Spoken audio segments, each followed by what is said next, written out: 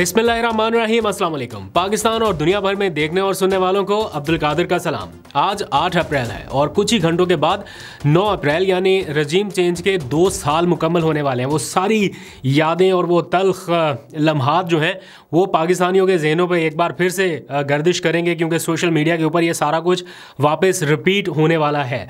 और इन दो सालों के मुकम्मल होने पर पाकिस्तान तहरीक इंसाफ ने भी एक अहम ऐलान किया है। या चाँद रात का सरप्राइज़ आप कह लीजिए कि वो ऐलान किया गया जो अब से कुछ देर पहले कोर कमेटी में डिस्कस हुआ और उसकी मंजूरी दी गई कि तमाम पाकिस्तानियों को ये कॉल दी गई है कि वो कल के दिन भरपूर तरीके से इस वाक़े के ख़िलाफ़ या 9 अप्रैल को होने वाली जो रजीम चेंज की कोशिश थी, उसके ख़िलाफ़ एक बार फिर से घरों से बाहर निकलें और इस बार पाकिस्तान तहरीक इंसाफ का और पाकिस्तान का परचम थाम कर आप घरों से बाहर निकलें और पुरम तरीके से अपना एहतजाज रिकॉर्ड कराएँ या डेमोन्स्ट्रेट जो भी करना है वो करें। तो पाकिस्तान की इस हालिया वाक़ात की तारीख में तीन तारीखें बहुत अहम हैं। एक 9 मई, दूसरा 9 अप्रैल और तीसरा 9 फरवरी।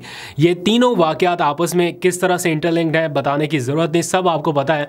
तो अब पीटीआई की तरफ़ से ये बताया गया कि कल का दिन, यानी चंद घंटों बाद, इसके हवाले से तैयारियाँ भी शुरू कर दी जाएँगी और फिर कल रात, जो कि पाकिस्तान में इम्कान यह है कि चाँद रात होगी और चाँद रात पे ही ये सब लोगों को निकलने का कहा गया। शेर अफजल मरवत का मैं ट्वीट देख रहा था, वो भी ये कह रहे कि मैं इतफाक़ करता हूँ इस तजवीज़ से और सारे पाकिस्तानियों को तूलो अर्ज़ में, यानी पाकिस्तान भर में निकलना चाहिए और जो ईद के बाद एक नया मोमेंटम देखने में आने वाला है मुमकिन तौर पर पी टी आई की एहतजाजी तहरीक शुरू होने वाली है तो उसको गैर अप करने के लिए ये बड़ा अहम होगा। तो आप लोग कहाँ पर हैं, किस शहर में हैं, क्या निकलेंगे, नहीं निकलेंगे, क्या आपका मूड लग रहा है, ज़रा कमेंट सेक्शन में भी बताइएगा। क्या पाकिस्तान में वैसा माहौल एक बार फिर से देखने को मिलेगा, जो 9 अप्रैल 2022 को जब इमरान खान ने बतौर वज़ी अजम आप लोगों को कॉल दी थी एक ख़िताब के दौरान और कहा था कि पुरम तरीके से लोग निकले, कम अज़ कम एहतजाज रिकॉर्ड कराएँ और पाकिस्तानियों ने जो एहतजाज रिकॉर्ड कराया, जिस तरह से पाकिस्तानी बाहर निकले, उसका अंदाज़ा ख़ुद इमरान खान को भी नहीं था और पाकिस्तानियों के इतनी बड़ी तादाद में बाहर निकलने के बाद ही सारा माहौल बदला, सारा मंजरनामा बदला और इमरान खान ने अपनी कैंपेन जो है वो उसको एक ऐसे, ऐसी सतह पर ले गए जो कि किसी भी और पॉलिटिशियन के बस की बात नहीं थी या किसी और सियासी जमात के बस की बात ही नहीं रही कि वो उसका मुकाबला कर सकते। उसके बाद ही ये सारी चीज़ें शुरू हुई। तो ये तो क्लियर हो गया था उस टाइम से लेके अब तक के पाकिस्तानियों की मेजॉरिटी जो है वो बिल्कुल एक साइड पर खड़ी है। एक तरफ़ खड़ी है, एक बयानिए के साथ खड़ी है, एक डिसीज़न के साथ खड़ी है। दैट इज़ इमरान खान का डिसीज़न खैर, अब इमरान खान ने रिसेंट टाइम बहुत मुश्किल गुजार लिया। ये बहुत सारे लोग बाहर आके उनसे मुलाकात करते ये कह देते हैं ना कि इमरान खान बड़े हशाश बिशाश हैं, बड़े सेहतमंद है और कोई फ़िक्र नहीं है, कोई मुश्किल नहीं है, डटा हुआ है आपका कप्तान। लेकिन हो सकता है मुश्किल हों, जेल जेल ही होती है और हो सकता क्या यकीनन होंगी। लेकिन उनके इन सारी मुश्किल के पीछे मुझे ऐसा लगता है कि एक चीज़ जो उनको मोटिवेट करती होगी या उनको, उनके लिए तसली का बायस बनती होगी, वो ये कि उनके लोग, उनकी कौम उनके साथ खड़ी है और ये क्लियर कट नज़र आया सबको। तो इमरान खान का हालिया दिनों में जो थोड़ा थोड़ा सा सख्त मौका हमें नज़र आ रहा है इन दिनों में। आ, पिछले कुछ अरसे में इतना नहीं था अग्रेसिव नहीं था लेकिन ये पिछले एक आध हफ़्ते में उनका जो लहजा भी बदला और उनके टोन भी बदली और एग्रेसिव रवैये के साथ जब वो आए हैं तो पार्टी के अंदर कुछ लोग ये सोच रहे हैं कि शायद ये जो थोड़ी सी नरमी का एक माहौल उनकी पार्टी के लिए था तो कहीं ये ना हो कि उल्टा उनके लिए फिर से परेशानी शुरू हो जाए या फिर से चैलेंजेस शुरू हो जाए।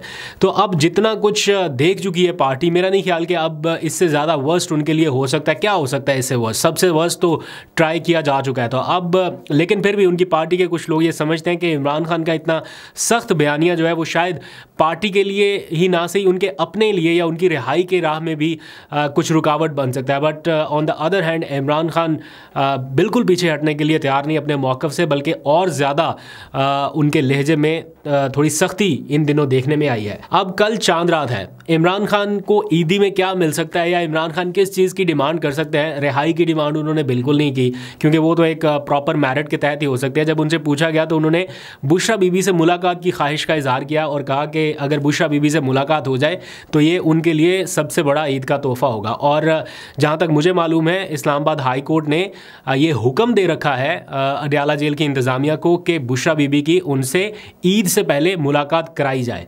अब वो कब मुलाकात होगी मालूम नहीं, लेकिन इमरान खान की ईदी ईदी, यही है। खैर, ईदी से याद आया कि अब से थोड़ी देर पहले मैंने अपना दूसरा ईदी का जो व्लॉग है, वो अपलोड कर दिया पार्ट टू उसका करना था, वो रह गया था तो वो भी मैंने अपलोड कर दिया है। आप जाकर देख सकते हैं, आई बटन पर भी आ रहा होगा और कमेंट्स में पिन कमेंट जो होगा, उसके ऊपर भी लिंक होगा तो आप जाके वो भी दूसरे चैनल पर देख सकते हैं, उसको सब्सक्राइब भी कर दीजिएगा। थैंक यू अच्छा अब आ जाइए ज़रा एक और मामले की तरफ़, जिसके ऊपर काफ़ी डिस्कस हो रही है दैट इज़ नाइन्थ मई के बीस मुलजमान स्लैश मुजरमान, जो भी कह लीजिए, एक के लिए मुलजम है, एक के लिए मुजरम है तो इनको रिहा कर दिया गया। तो रिहाई के बाद ऐसा तासुर मिला कि जैसे ये बरी हुए हैं या बेकसूर थे, इसलिए बरी कर दिया गया। जबकि जो मालूम सामने आ रही हैं, उसके मुताबिक इनको एक एक साल की सज़ा सुनाई जा चुकी थी, जिनमें से सत्रह मुलजमान को साढ़े दस माह की और तीन मुलजमान को साढ़े नौ माह की सज़ा सुनाई गई थी, जो कि मुकम्मल होने के करीब ही है, अब ज़्यादा से ज़्यादा कितना दो तीन महीने का ही वक्त रहता होगा तो ईद से पहले उनकी सज़ा बाकी जो रहती है, वो ख़त्म कर दी गई और बताया गया है कि आर्मी चीफ़ के हुक्म पर यह सज़ा में नरमी की गई और उनको रिहा कर दिया गया और वो रिहा होकर एक दो रोज़ पहले अपने घरों को पहुँच चुके क्योंकि सुप्रीम कोर्ट ने यह कहा था कि जिन लोगों को रिहा किया जा सकता है, उनके हवाले से फ़ैसले किए जाएँ। तो वो फैसले अब मंजर आम पे आए हैं। अटॉर्नी जनरल ने यह तफसीत तहरीरी तौर पर सुप्रीम कोर्ट को भिजवा दी हैं कि बीस मुलजमान जो हैं, वो रिहा होकर घरों को पहुँच चुके। बाकी मुलजमान जो हैं, उनका ट्रायल जारी रहेगा। कब सज़ा होगी, कब बरियत होगी, अभी मालूम नहीं है, लेकिन दुआ करते हैं कि उनके लिए भी कोई अच्छी खबर आए और जिस तरह से यहाँ पे नरमी बढ़ती गई है बाकियों के लिए भी नरमी का मुजाहरा किया जाना चाहिए। अब मेरा ख़्याल है ये वक्त है, वक्त का तकाजा है कि ज़रा दिल बड़ा किया जाए। लेट्स सी कब होता है ये सारा मामला, आपको बताएँगे। दूसरी तरफ़ इमरान खान के हवाले से आज एक अर्जेंट नोयत का पैगाम उनके वकला ने अर्जेंट लिखते हुए ये बताया कि उनकी उनके मालज से मुलाकात से रोक दिया गया, यानी इमरान खान का जो मेडिकल चेकअप है, वो नहीं होने दिया जा रहा और बुशरा बीबी का भी मेडिकल चेकअप नहीं होने दिया जा रहा। उनके वकील नईम पंजोता ने ट्वीट करके बताया कि ये अर्जेंट नैयत का मामला है। हम हाई कोर्ट से भी रजू कर चुके हैं, लेकिन वाज अहकाम के बावजूद उनके ज़ाती माले से उनकी मुलाकात की इजाज़त नहीं दी जा रही।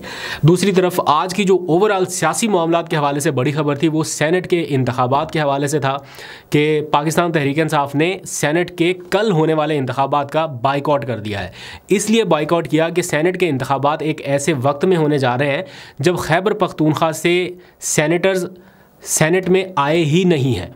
वो क्यों नहीं आए? इसलिए क्योंकि मखसूस नशस्तों पर आ, कुछ लोगों का हल्फ नहीं लिया गया। तो इलेक्शन कमीशन ने सैनट के इंतबात मुलतवी कर दिया या फ़िलहाल रोक दिए। पी टी आई चूँकि खैबर पख्तूनख्वा में इकतदार में है तो वो ऐसे लोगों से हल्फ नहीं लेना चाहती जो फॉर्म फोर्टी सेवन से मंतखब हो गया है। वो कहते हैं कि फॉर्म फोर्टी फाइव के तहत जिन लोगों का मैंडेट है, उन्हीं से हल्फ लिया जाएगा। हम ऐसा अपनी, अपने सूबे की आवाम के साथ नाइंसाफ़ी नहीं करने दे सकते कि जिनको आवाम ने मुंतखब नहीं किया, उनको बुला के हम उनसे हल्फ ले लें।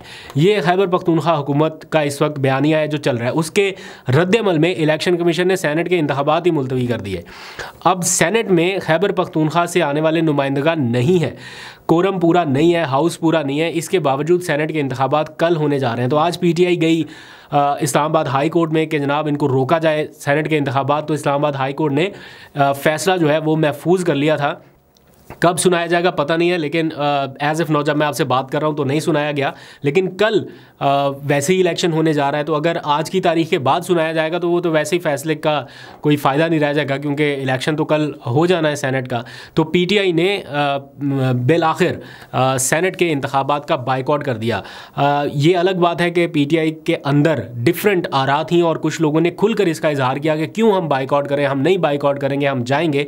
लेकिन चूँकि ये पार्टी का एक पॉलिसी डिसीज़न है, इसलिए सबको इसके ऊपर इम्प्लीमेंट करना होगा। अगर कोई इंडिविजुअल कैपेसिटी में पार्टिसिपेट करना भी चाहे तो उसका फ़ायदा नहीं होगा। अच्छा जी, आज की एक दूसरी खबर ये कि जस्टिस मोहसन अख्तर क्यानी, जो इस्लामाबाद हाई कोर्ट के दूसरे सीनियर मोस्ट जज हैं if I am not wrong तो मौजूदा चीफ जस्टिस के रिटायर होने पर इन्हें चीफ जस्टिस बनना है, लेकिन इनके सख्त मौक़ की वजह से हालिया डिसीज़न में सख्त ऑब्जर्वेशन की वजह से या क्या कह सकते हैं और फ़िलहाल तो यही वजह नज़र आ रही है।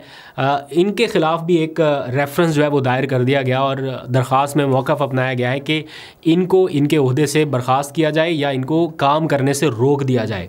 एक ऐसे वक्त में जब जजेस जो हैं वो अपना एक ख़त लिख चुके हैं या अपना मौक़ बता चुके हैं, ऐसे में जज के ख़िलाफ़ ये रेफरेंस का आना कोई भी रेफरेंस फ़ाइल कर सकता है। ये नहीं है कि किसी ने, किसी हुकूमत ने किया है या किसी और जगह से आया है, कोई भी शख्स कर सकता है, लेकिन किसी का ऐसे रेफरेंस दायर करना, इसके ऊपर पीटीआई ने काफ़ी सख्त रद्दमल दिया है और इसको हुकूमती कोशिश करार दिया है कि ये जजेस के ऊपर असरअंदाज होने की हुकूमती कोशिश है। बहरहाल, ये तो बाद में डिसाइड होगा। इसी दौरान एक ख़बर आई खैबर पख्तूनख्वा के चीफ जस्टिस के हवाले से। उन्होंने आज बातचीत करते हुए अपने दिल का थोड़ा सा दुख बताया और कहा कि हमने जो असूल के मुताबिक फ़ैसले किए हैं, या अब तक जो फ़ैसले किए, हमें एक सियासी पार्टी के साथ नथी कर दिया गया कि जैसे हमने किसी एक सियासी पार्टी के लिए फ़ैसले किए हैं। जबकि वो कहते हैं कि हमने आइन, कानून और अल्लाह को हाजिर नाजर जानकर फ़ैसले किए और इन फ़ैसलों की भारी कीमत भी अदा कर चुके हैं। लेकिन स्टिल वो कहते हैं कि अगर किसी के साथ मैंने नाइंसाफ़ी की है, या वो कोई समझता है कि उसके साथ मैंने इंसाफ नहीं किया तो अल्लाह के हजूर मैं उसका जवाबदेह हूँ। वो मेरे से जवाबदेही कर सकता है। तो ये उनकी तरफ़ से एक स्टेटमेंट आई। बड़ा उन उनसे कभी मुलाकात नहीं हुई, ना कभी उनको बहुत ज़्यादा इस तरह ऑब्ज़र्व किया, लेकिन भले मानस और शरीफ आदमी लगते हैं। जाते जाते आखिरी खबर यह है कि पाकिस्तान के पॉलिटिकल एरिना में एक नई सियासी जमात की एंट्री होने जा रही है और उसके लिए शाहिद खाकान अब्बासी मुतहरक हुए हैं और उन्होंने अपने कवायफ जो हैं वो इलेक्शन कमीशन में जमा करा दिए हैं। और इलेक्शन कमीशन से रजू करते हुए उन्होंने कहा है कि वो एक नई सियासी जमात बनाना चाहते हैं। आइंदा आने वाले दिनों में इस हवाले से पेशरफ्त होगी। वो ये समझते हैं कि जब भी अगले इलेक्शन होंगे तो वो और उनकी पार्टी उन इंतबात में भरपूर हिस्सा लेगी।